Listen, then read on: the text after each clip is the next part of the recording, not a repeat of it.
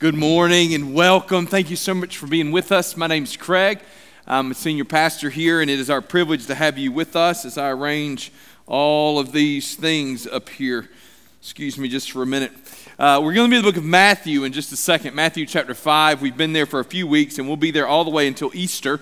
One thing that I want to mention that I have failed to do regularly recently. Pastor Adam says it every Sunday, uh, but we're not doing a good job. And by we, I mean you. Um, um, if you are a guest with us and you've never filled out one of those little guest cards, I need you to do that for me. It would really be amazing. Uh, if you don't want to do it right now on that little piece of paper, that's fine. Just pull your phone out. We'll all think that you're checking Instagram or that you're sending somebody a text message. Uh, and you can do it at malvernhill.org slash connect. But if you'll do that, that really helps us out. Um, the Super Bowl's tonight. I've got to get food ready at my house. I'm not going to come and visit you. I promise. I'm not coming to your house today. I just want to know that you were here so that we can just reach out to you and, and let you know uh, how grateful that we were to have you with us. All right. Hopefully by now you've made it to Matthew chapter 5. I'm going to ask you to stand in honor of God's word, and I'm going to go against my, my promises to you. I told you that we were just going to be reading one verse per week, um, but we're actually going to read y'all, the, the pages in my Bible keep sticking together. I don't know who's sabotaging me. Um, but uh, we're going to actually read three verses this morning because they, they play into one of the points I'm going to make in just a minute. So we're going to read verses three through five. Blessed are the poor in spirit, for theirs is the kingdom of heaven. Blessed are those who mourn, for they shall be comforted. Blessed are the meek, for they shall inherit the earth. Let's pray together. Father God, thank you for loving us and thank you for this word that never fails. I pray, Lord God, that you'd move among us as we consider what it looks like to be gentle. In Christ's name, amen. Thank you. Please be seated. So, we've been working through this sermon series on the Beatitudes for several weeks. Well, this is the third week in this sermon series. And like I said, we'll be here until Palm Sunday. Palm Sunday is the Sunday before Easter, uh, if you're not aware of that. And so, beginning on Palm Sunday, we will look at the Sunday, uh, what Palm Sunday is Jesus' arrival into Jerusalem. Uh, and then on Easter Sunday, of course, we will do the, uh, the, the, resurrection story of Jesus. If you are a longtime member here at Malvern Hill, if you've just been with us for a little while, you don't know this, but historically we've done a sunrise service on Easter Sunday, and we're not going to be able to do that moving forward just because of the two services. There's just not, uh, we're not able to pull that off. So you're welcome to come to both services for Easter. You can come to the 8:30 and the 10, whatever. What time is it now? 11? I don't even know. Um, but uh, they will be identical services this year, which is a little different. But I'm excited about it. We're going to have big uh, um, praise choir that's going to be helping lead Easter service. Let me tell you about some great things that are happening in your church. Uh, there's so many of y'all around here that uh, this is what it looks like. Our average attendance in the month of January is the attendance that we had at Easter last year. That's, that's how much we, we're growing. Uh, man, we had one person clap in the first service and one in the second. So the rest of y'all need to get on board. I appreciate that. It's good to have happy people. Thank you, Adam. Um, it is. It's good stuff, man. The Lord's doing great things. We had somebody else join in our in our first service. Folks are coming to the Lord. We had a youth service, our youth conference this weekend with um, a bunch of teenagers here. And what's even, I, I, think, even more awesome, I believe, is not just that there were teenagers here. Uh, there were adults that just kind of kept showing up to do all kind of things and to help from. Uh, from our youngest adults to our oldest adults and everybody in between showing up to make, make a difference.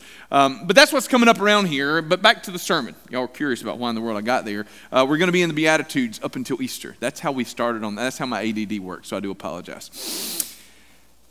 What we've looked at so far, though, is, is blessed are the poor in spirit and blessed are those who mourn. And today we're looking at this, this beatitude of, of meekness. Jesus says, Blessed are the meek, for they shall inherit the earth. And the reason I read all three of those, as we're going to see in just a minute, is we can't fully embrace this idea of meekness until we've embraced the other two. Until we've understood what it is to be poor in spirit, we've understood what it is to mourn over our own sin. We can't embrace meekness. But meekness, or being meek, that's one of those Bible words anymore. It's not a word that's popular in, in our common uh, culture today. And so it's, it's helpful if I maybe explain what meekness means. Meekness really is closely related to the word gentleness. And, and so when we think about meek, you're thinking about gentle or humble. The meek person is not, excuse me, I'm so sorry. For those of you watching at home, you're welcome, that was probably loud on your TV. Um, I apologize for that. The meek person is not self serving. The meek person is not looking for what they can get. The meek person is quiet and submissive. D.A. Carson describes meekness this way Meekness is a controlled desire to see the other's interests advance ahead of one's own. Now, look, this is not a personality trait. So, this is not the same thing as niceness or shyness. Meekness is more of a disposition. Uh, meekness is that thing that any of us who are followers of Christ can and should aspire to. And we should aspire to it because Jesus tells us to. Jesus doesn't just tell us to when he describes himself in Matthew chapter 11, 29. And I believe this is the only place in the Bible where Jesus tells us his heart. He says, I am gentle and lowly in heart. That word gentle in Matthew 11, 29 is the same Greek word that's translated as meek in Matthew 5, 5. So, in other words, Jesus says, I am meek, I am gentle and lowly in heart. So, not only does Jesus command us to be meek, Jesus himself is gentle and meek. And as a result, what he's ultimately telling us to do is to be like him. Now, in addition to this idea that Jesus gives us these commandments, I do want to sort of dispel with something that some of you may already be assuming. And, and it's this thought that the Beatitudes are those commandments that Jesus gives to like the super Christians.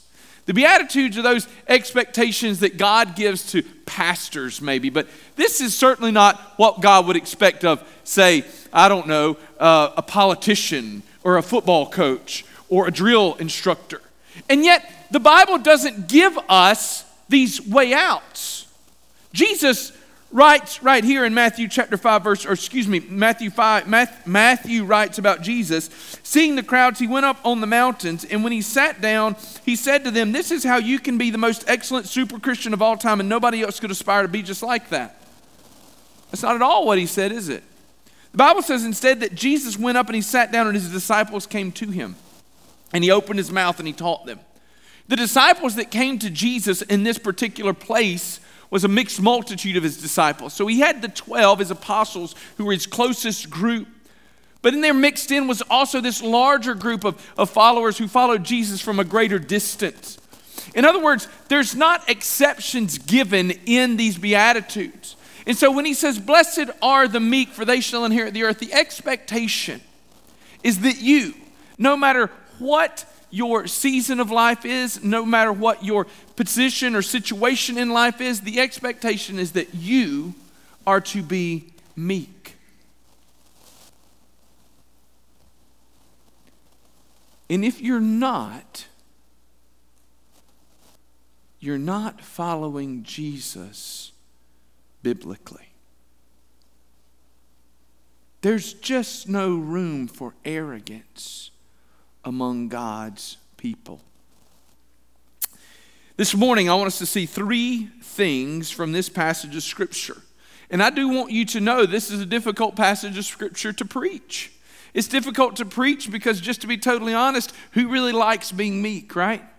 Matter of fact, one of our teenagers was by the church earlier this week, and uh, she said, Pastor Craig, what are you going to preach this week? I said, I'm preaching blessed are the meek. I said, I'm, I'm kind of dreading it. This isn't a, an easy passage to preach. And she said, Well, somebody's got to. It might as well be you. So there we are, guys. Somebody's got to.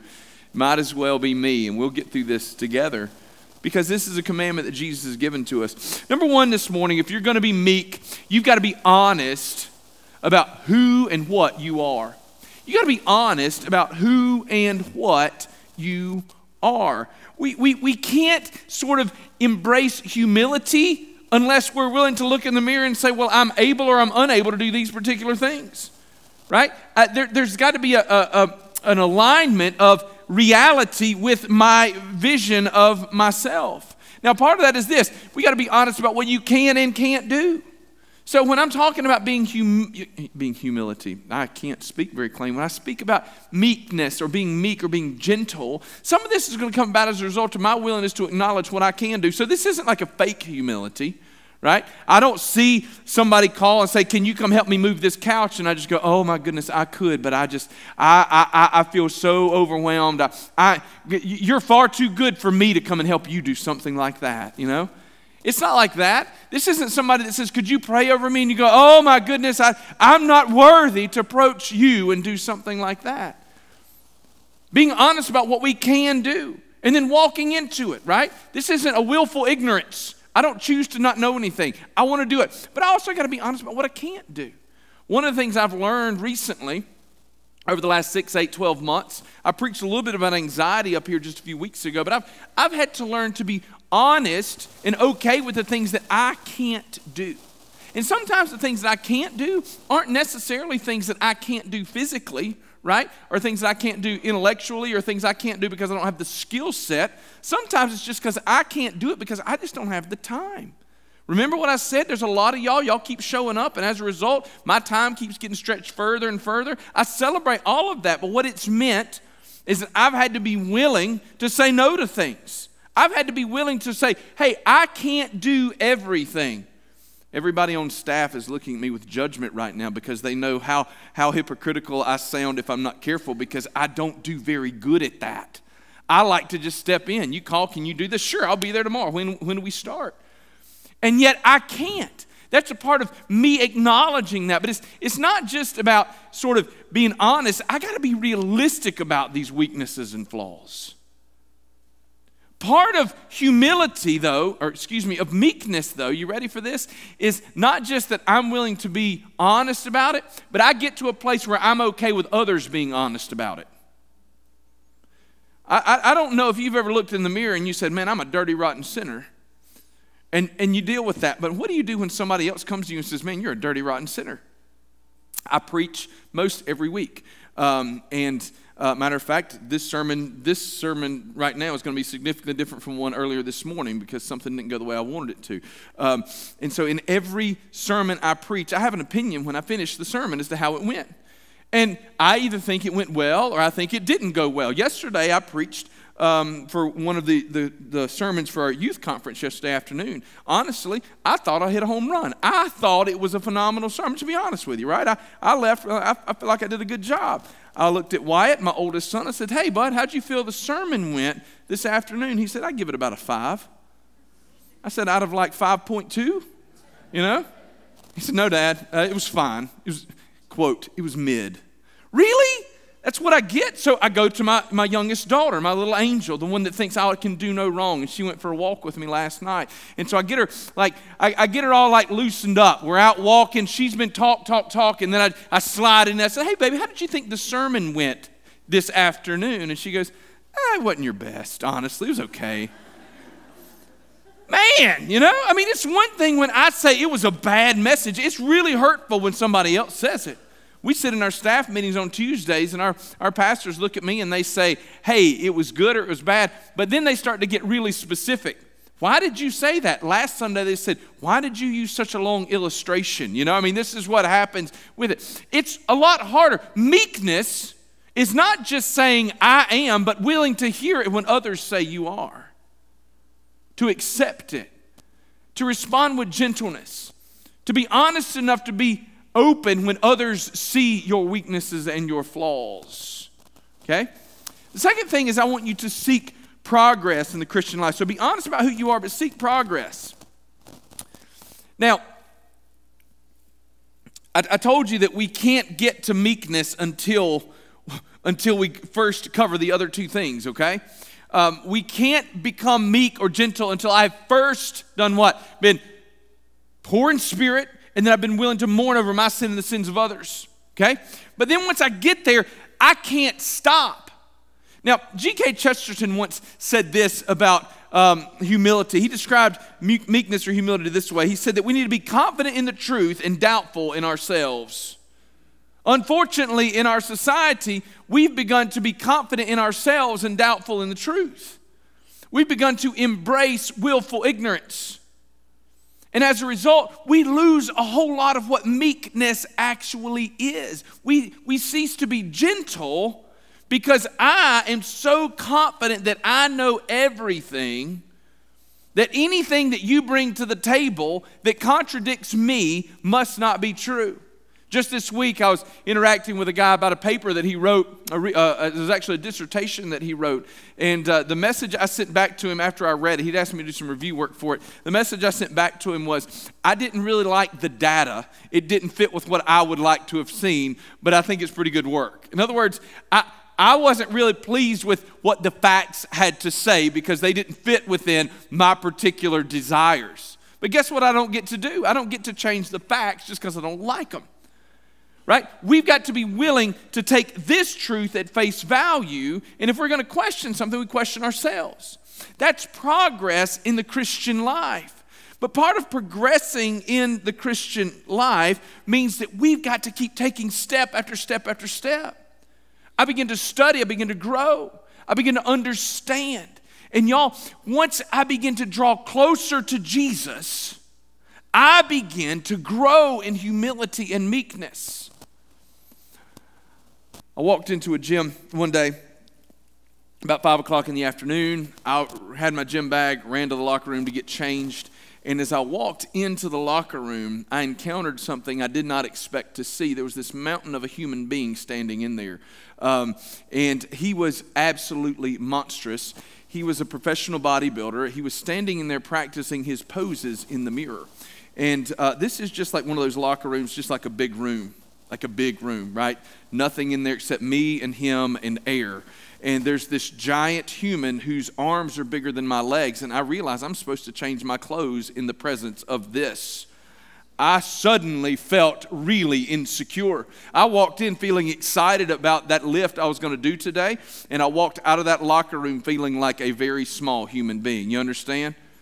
So sometimes our, our, our humility is impacted by our, our, our, our station in life. Y'all, some of you haven't grown in humility or in meekness or in gentleness because you've not grown in your understanding of who Jesus is. And you've not grown in your understanding of who Jesus is because you've chosen willful ignorance. Look, theology doesn't teach you the practical, it teaches you about a person. There's some people that like go, well, Pastor Craig, you do all that study and that reading, but I just want to do the stuff, you know? You do the learning, and I, I'll just do the things. Here's the deal when we learn about who this God is, it changes who we are. Our primary objective in life is to draw near to Him. And when we draw near to Him, we begin to discover that He is this mountain of a God man. And under his holiness and his glory, we shrink. It's difficult for me to continue to be an angry, ornery, arrogant man when I have encountered the God of the universe. I had a conversation with a professional wrestler one time. And uh, we were talking about, I like that. You have no idea where the story's going. Uh, but uh, some, something was said about somebody being big and this man looked at me in, in, the, uh, in the, the group and he said, Once you've met Andre the Giant, he said, size is irrelevant. Once you've met someone that big, everything else pales in comparison. I don't know if you've ever stood beside somebody, either because of their physical stature or their position in life. Maybe it was just somebody that was powerful or something, and you stood beside them and you just felt incredibly inadequate. Y'all just understand that we are invited into a relationship with the God of the universe. He invites us into prayer, He invites us to know Him, and He calls us His friend. There should be an inadequacy that comes with that. But that inadequacy comes about as we seek to grow, as we seek to progress in the Christian life. If you're going to pursue meekness, you've got to be honest about who you are. You've got to seek progress in the Christian life, and you've got to live like Jesus. I brought this sweatshirt. I had to go find one in the children's building. Jesus doesn't wear this sweatshirt. Um, but uh, I, um, I, when, I, when, I, when I have to, I coach Little League Baseball. And I say when I have to. In other words, when there aren't enough dads to handle the thing. I, I step in. I'm, I'm, a terrible baseball player. I, I, think I mentioned that sermon recently. And so I feel bad coaching kids because I'm afraid that they're going to be worse as a result of my investment in them. Uh, but I do it. And uh, if I'm going to do it, I try to do it well. And one of the things that I'm pretty passionate about once the game gets going is umpires. And um, maybe y'all have met those officials. They, they have a really difficult time seeing sometimes. And uh, um, so I am I'm at a baseball game. Sloan was on the field, and somebody got a hit. Sloan was on base. He rounds third base, and he steps on home plate. And about the time he steps on home plate, the catcher catches the ball and he reaches down to tag, but Sloan's standing on home plate, and the, the, the umpire says, out. And I'm standing in the dugout, and Sloan's standing on home plate, and Sloan gets tagged, and he calls him out. And suddenly I was no longer in the dugout. I was out of the dugout, right? And, and you know where this is headed, or where I was headed? I was headed to home plate. Um, and as I progressed towards home plate, there were church members, by the way, who were present for all of this. It was phenomenal. As I progressed towards home plate, I began to explain to this umpire that the problem was in his ability to see. And I was being as politically correct as I possibly could be, but he says to me, he says, his foot wasn't on the plate. And I say to him, I say, Yes, sir, I understand, but he has two feet, and one of them was on the plate. He said, He's out, coach. I said, This makes absolutely no sense. And somebody outside the fence, who was my daughter, says something along the lines of, Great job, Pastor, you being a really wonderful example. and I bring this because this is the sweatshirt I was wearing, not this particular one, one much larger, that says, Kids on the Hill you know, and then on the back, you are the light of the world. A city set on a hill cannot be hidden. That's right. Do y'all know why we bought these shirts? Because we looked at our children. This is no lie. We looked at the kids and the teenagers we have in our church, and we said, they're such a good representation of what we are. This is cheap advertising for us because they love Jesus and they represent us well. And so we bought these shirts and as a matter of fact, Rhonda told me she's, this is the last one I think was just given out today. I got to give it back after this is over with. Um, so we, we bought them about, I don't know, a year or two ago, and, and we've given a bunch of them out for our kids because they're such a great commercial for our church. They're such a great representation. And the pastor is standing on the baseball field wearing this sweatshirt arguing a call. I had deacons there, and they loved every single minute of it, y'all.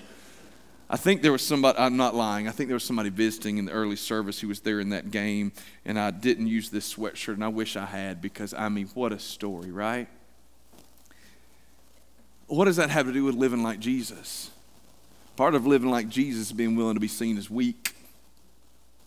Y'all, I am your pastor. It is one of my greatest joys in life.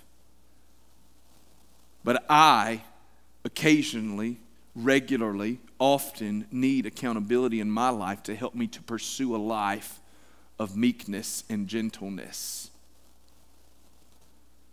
I need to wear that sweatshirt regularly so that I look down and see it emblazoned upon my chest to remind me that I am to be gentle like my Savior. Listen, weakness, excuse me, meekness is not weakness. Meekness is the willingness to be seen as weak. Jesus was not weak, yet he was willing to be perceived that way because he had greater ambitions. And his greater ambition was to glorify his Father in heaven and to redeem us from our sins so that we might live with him forever. Living like Jesus means willingness to be seen as weak, regardless of how strong we may be.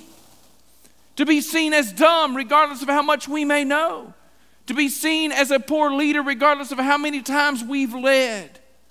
It's a willingness to be seen as less so that Jesus can be more.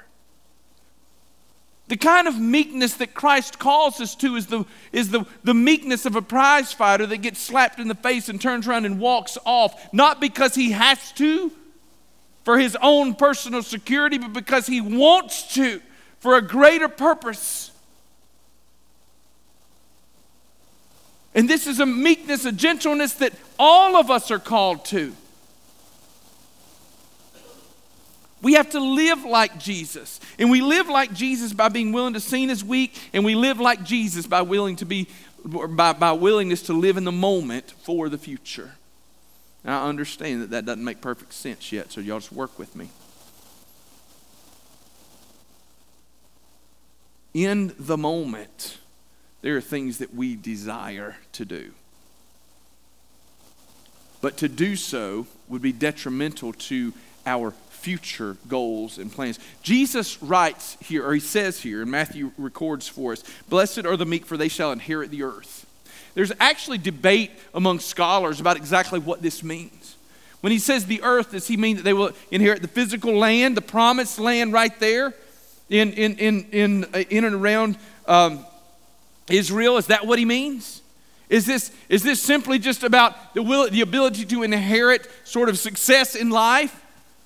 Or is this eschatological? That's a big word that means it's end times. This is about the ability for us to inherit eternal life with Jesus in the promised land that's promised to us when Jesus returns to bring his bride home in the book of Revelation. It could even be that it's a little bit both and. That if we are willing to follow Jesus in this life, we're going to find joy and satisfaction here, and we're going to find joy and satisfaction in the life to come. I, I tend to believe that's what Jesus meant. But I know this I know that we are making decisions in the moment, not because of how it's going to impact me now, but because of what I'm going to receive or experience as a result of it in the future. There's a discipline that's involved with our willingness to be meek. I don't do it because it feels good. I do it because it's right and because it honors my Lord. I have to be totally honest with you. This is a challenging sermon to preach. It, it, in, in many ways, it would be much easier for me to just preach one sermon on all the Beatitudes and y'all just drink out of a fire hose and we give everybody a high five on the way out. But it would be far less challenging for all of us. Far less challenging for me as a preacher and far less challenging for you guys as you experience and encounter the Word. Because the Beatitudes weren't given to us to be consumed as a fire hydrant, they were given to us as a reminder of what it looks like to live as a follower of Jesus. And so ultimately, the application point of this message is very simple. Are you willing to be gentle? We live in a world that is not. We live in a world that has lost gentility. It's not exactly a word. We live in a world that's lost gentleness around every corner. I'm, I'm amazed. I am amazed at how harsh language has become in professional settings. That, that, that blows my mind. It, it's incredible for me to see how angry TV personalities are. I tried to listen to a podcast this week, and the, the, the guest on the podcast who was invited there to share his wisdom couldn't even get his words out because the, the host continued to interrupt with arguments. We're not gentle. We're just mean spirited. We're angry all the time as a culture. And Jesus is calling us to something different. And some of you are sitting there and you're saying, Well, Craig, if I, if I adopt that pattern, I'm just going to become a doormat for everybody.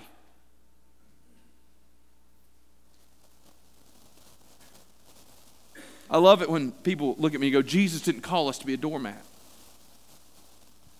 What if there are occasions where he did call you to be a doormat? Are you willing to be a doormat if it brings him honor and glory?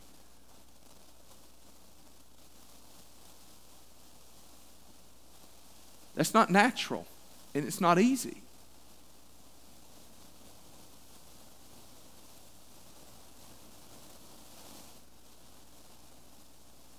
And yet I don't find an explanation here. Blessed are the meek, for they shall inherit the earth if they're just meek some of the time. Or if they're just meek when it's easy. Or if they're just meek when the pastor's looking, or if they're just meek when their mama's looking. Blessed are the meek. So that's it, really. Are you willing to be gentle in a world that is hard? And just to be totally honest, sometimes mean. Are we willing to look dramatically different for the cause of Christ?